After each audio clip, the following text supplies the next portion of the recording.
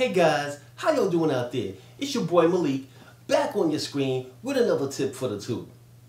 Have you ever wanted to have one of those little subscribe buttons that just pop up on the screen so people could click on it and subscribe to your channel? Kind of like this? I'm going to show you how to get it done. Let's get into it.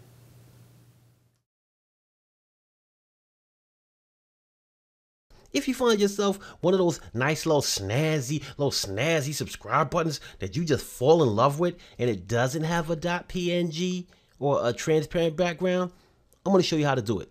So I'm going to show you first in paint.net because it is a free program and anybody can get it if you got a Windows computer and you can use it to do this. All right, let's open up paint.net and get started, baby.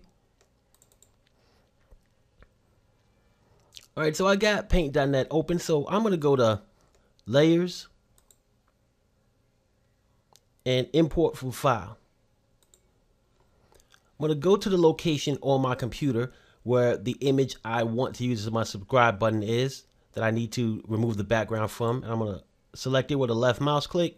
Then I'm going to click on open. Now that I have it open, I need to go down here to my layers and I need to get rid of this white background because I don't want to see a white background. I want a transparent one. So when I click on this, you'll see a little bit of transparency show up down here. But the part that's white that comes with the JPEG image of the subscribe button is still here. I need to get rid of that crud. So I'm to click on the magic wand button over here. So I'm going to left click it. Then I'm just going to click in the section that I want to remove. And it automatically selects everything around the image because it's really simple on this image because it's just uh, one thing's not a lot of uh, curves and turns and stuff with it. So now all I need to do is hit the delete key on my keyboard and blot out. This checkerboard means that it is transparent.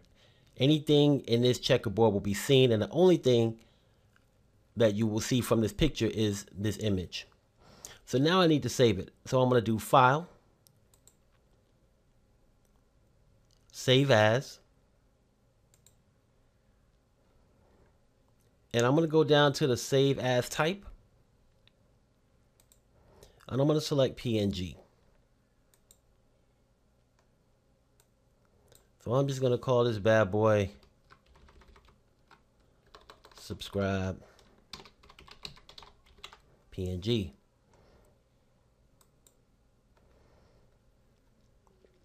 I'm going to leave everything as it is. Click OK.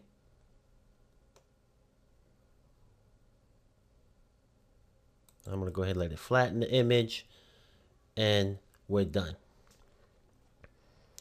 Now, for all of you Photoshop users, I'm going to show you how to do it in Photoshop one time for your mind. So I'm going to open up Photoshop. I'm giving you all kind of love. Paint.net love, Photoshop love, YouTube love. It's a love affair. So I'm going to go to File, Open. I'm going to go back here to the subscribe button JPEG that I had before and I'm going to click on Open.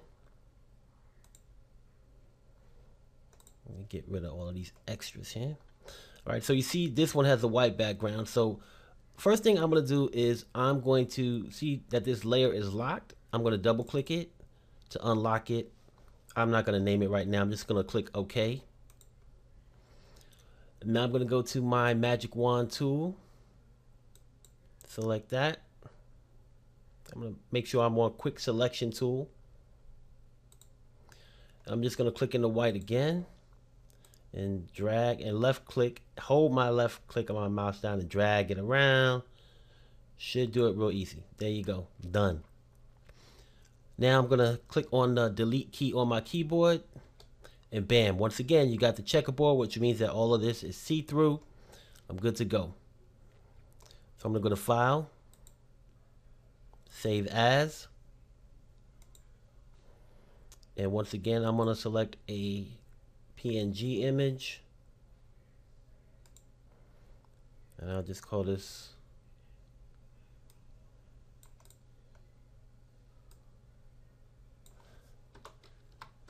subscribe to. And I'll say that.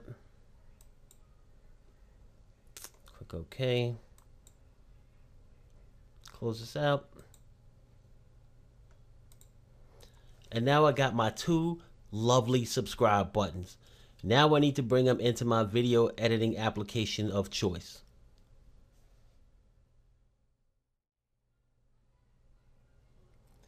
Here we are in Adobe Premiere Pro.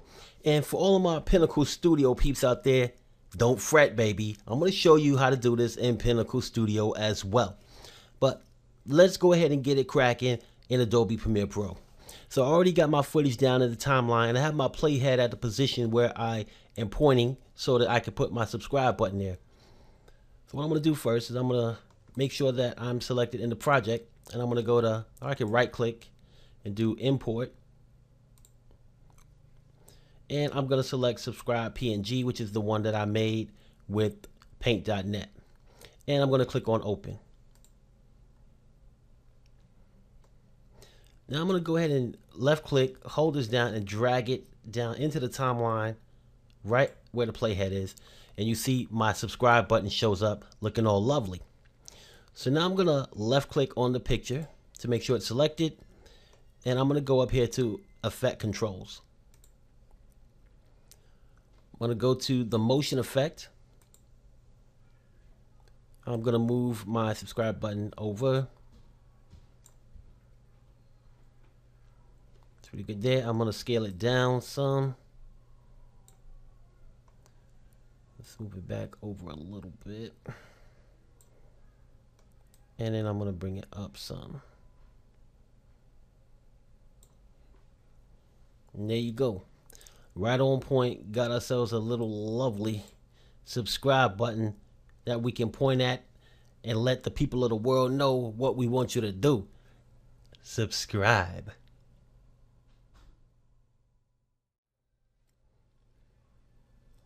Now we're in Pinnacle Studio 17 Ultimate, and you can see I got my video footage down in the timeline, and I have the location where my uh, transparent PNG subscribe buttons are at. So I'm just going to drag one of these down into the timeline. All right, and now to go ahead and put this to the right size, I'm going to right click on the photo. I'm going to go to Open Effects Editor.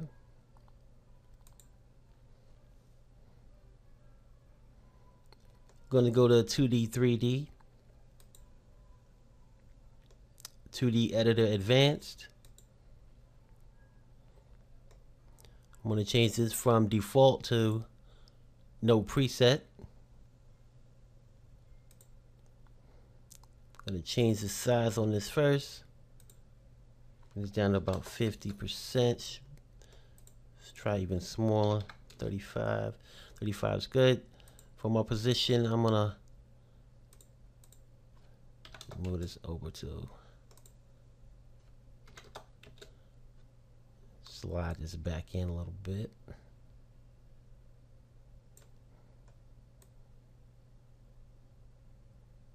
And move my vertical. Man, booyah, we're good. It's in place, so I'm gonna click OK. All right, now that we got these buttons in the videos, let's jump off into YouTube and make some magic happen.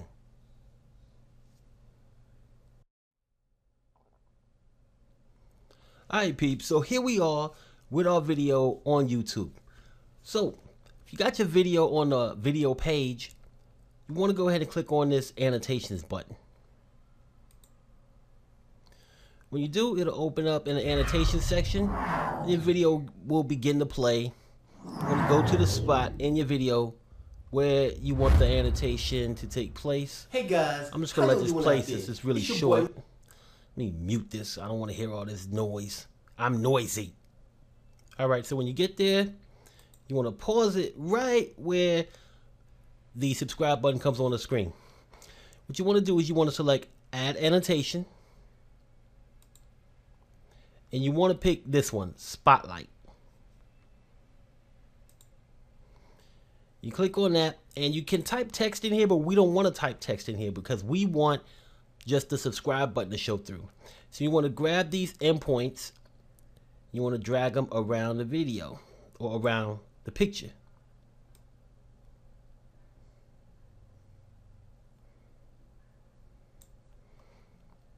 And you can hover over it to see how it looks and things like that. You want to get it just how you like it. And once you have it how you like it, you want to make sure that your start and stop times are correct. So the start time's correct. And the end time, you just need to make sure that it's going to go all the way through to the end. For this one, I'm just going to click 34. And that's going to be all the way to the end. But yours could be shorter than that. Just make sure that you get your start and your end times in. Then you want to click on link. When you click on link, you want to select the drop down here. And when you select from the drop down, you want to pick subscribe.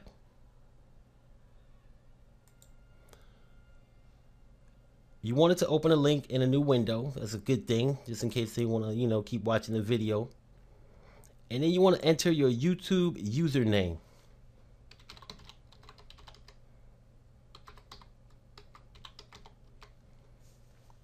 And once you've successfully done that, you'll see a preview link here. You click on the preview link. It'll open up a new window with your channel on it. So you know that it's working. Then when you're done, just click on publish. And you're good to go. Now if we go back to watching the video,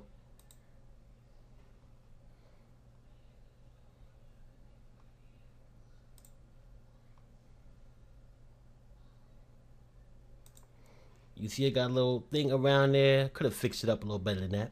But you see I got the little thing on here. It's a active link now. If I click on it, it won't let me subscribe, but it will take me to my page. Alright guys, you know the routine. Love you guys to leave me comments. Ask me questions. I will help you get things done on YouTube, whether it has to do with uh, annotations or how to make better videos or how to, you know, do effects or whatever, I'm here for you. Got all your YouTube facts and all the help you need right here. All right?